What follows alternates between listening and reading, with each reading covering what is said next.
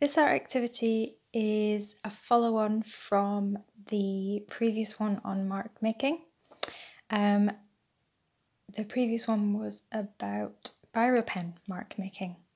So this mark making um, video is about oil pastels.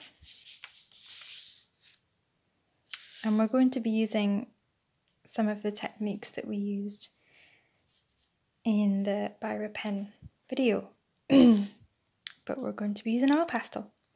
So, for the tree um, that I'm going to be drawing, I'm going to be using some blue, some uh, dark green and some light green.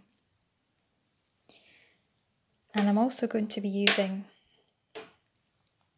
some brown, sort of a, a darker yellow then a lemon yellow and a sort of a green grey. Okay, so those are the colours that I'm going to be using. So, mark making, it's all about um, making different lines, different patterns, different textures um, on paper and achieving different effects. Um, and for this particular exercise, I'm going to be using a tree again. So I've already started to make some um, additions to this. So I've already started to add some of the marks. So coming back to the sheet that I would recommend you all to make as a reference um, and a guide um, divide the page up how it suits you. So if you wanted a bigger bigger space um, than this, that is totally fine. Okay, so let's just summarize the different marks that we're going to be making. So for um, the grass in this particular picture, or for grass in any particular picture, you would use strokes. So you would use a stroking um, pattern, a mark making pattern. Very similar to what we were doing in the biro pen is that you would use different um, lightness and heaviness of touch. The main difference between um, the biro pen and obviously the oil pastel is the type of texture that you're going to get from the pastel itself. So you're going to get, you're going to be able to blend the colours to achieve thicknesses, depths. So you've got quite a more of a deep, um, a deep image of the grass there, whereas that's more of a lighter image. And we've put three colours into this one and one into this one. So you can see the types of marks and the types of different effects that you can get just from that particular mark. So let's look at blending and doppling. Now this one, for this one, we have used a lighter green and we use heavier strokes for this because it really requires it in order to see it on the page. Additional material that you'll need for oil pastel working is tissue paper. Now this is tissue paper that you wrap presents with or that you pad out a, a box with. So this is the tissue paper that you get, the scrunchy kind. So in order to blend it in a way that would achieve this from this, you would grab it between your fingers and rub it in a circular motion in a clockwise direction. Okay, this will not lift or remove any of the oil pastel, it will simply blend it.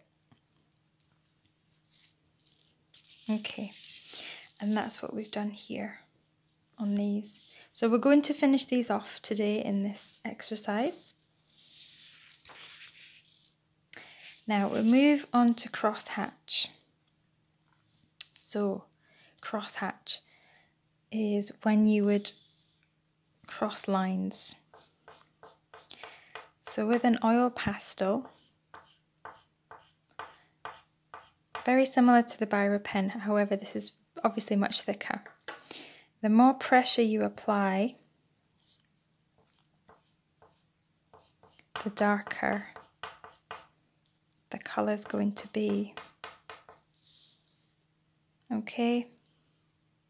And the lighter the pressure you apply, the lighter the colour is going to be. So this is perfect for exploring um, stone or wood surfaces in a picture. So in this picture we would be exploring that with the trunk of the tree. So moving on to springs. Now some of that is achieved, some of that will help achieve um, the foliage in the tree. So that's what we're going to use it for here. And we're also going to build up some texture in that as well. And we're going to be using three colours here. Now in oil pastel blending and even in, and in oil pastel mark making, there are no particular rules. However, there is a tip um, that you'll come across um, in other um, tutoring materials and other tips on oil pastels. And the common thing is a rule of three. So if you're blending any more than three colours, you will start to get some problems. So really, really focus on fixing on three or even two colours. Okay? Because that will help you to achieve um, the most successful blending. So we're going to move on to finishing the tree. So what I want to show you first is I want to show you more of this, more of this blending and doppling. Okay, now this is where you can take two of the mark making techniques and combine them. So you can combine springs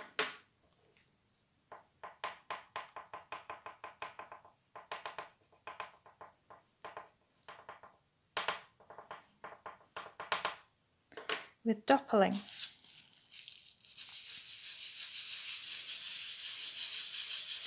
And it doesn't matter where you start on the area as long as the circular motion follows clockwise direction. And as, as, as soon as you start blending,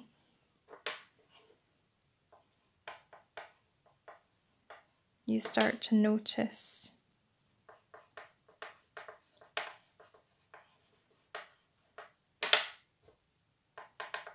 what's what needs to happen to get the darkness and the lightness. You start to see what you need to do.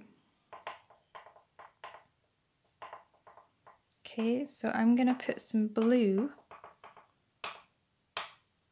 dots on here.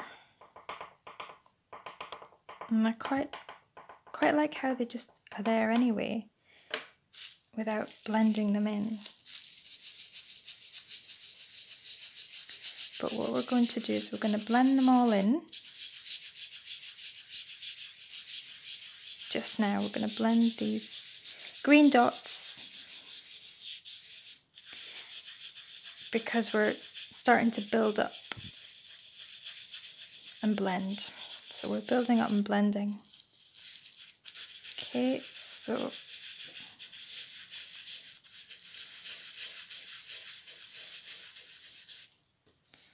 I'm going to come back to this.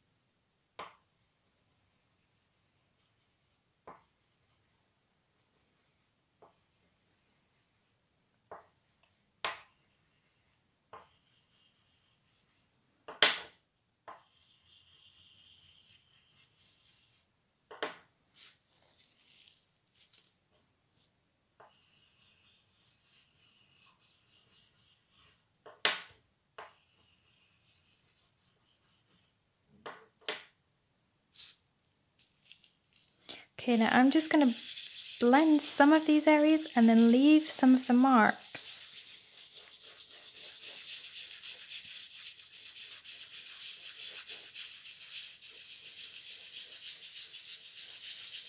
as well because that's the beauty of mark making you get these little discoveries that happen even when you're achieving particular marks you get these lovely little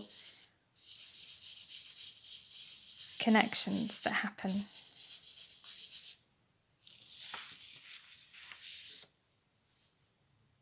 Okay so we're going to do some cross hatching